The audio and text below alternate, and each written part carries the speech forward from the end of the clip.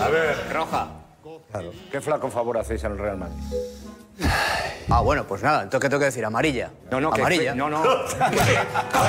¿Qué, qué Yo, flaco favor? oye, No, todo no, sea por bien del programa. ¿Qué tengo que decir por bien del programa? Lo que quieras, hombre. Pues roja, para mí me parece que es roja. Que no gana. No ganó a 10 en Me la parece que el, segunda mi- parte. el- el- el- el- el- el minuto, esto del minuto ya lo hemos debatido mucho, el minuto en el que se produzca la jugada, me parece, ¿eh? yo creo que el reglamento no, no habla de minutos, habla de, de- de jugadas, a mí me parece que es roja. De todas formas, roja, amarilla, azul, verde, mm, da igual.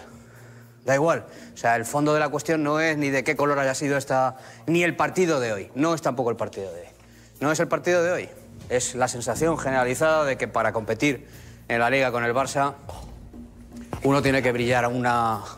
A, una, a un grado de perfección total, porque si no siempre van a contar con la anuencia arbitral. La culpa ni siquiera es de Hernández Hernández. La culpa no es de Hernández Hernández. Hernández Hernández tiene un historial con el Real Madrid Eso es. de eso es. graves perjuicios. La culpa es de quien pone a Hernández Hernández. Yo contra la persona Hernández Hernández, a quien no tengo el gusto de conocer, no tengo absolutamente nada.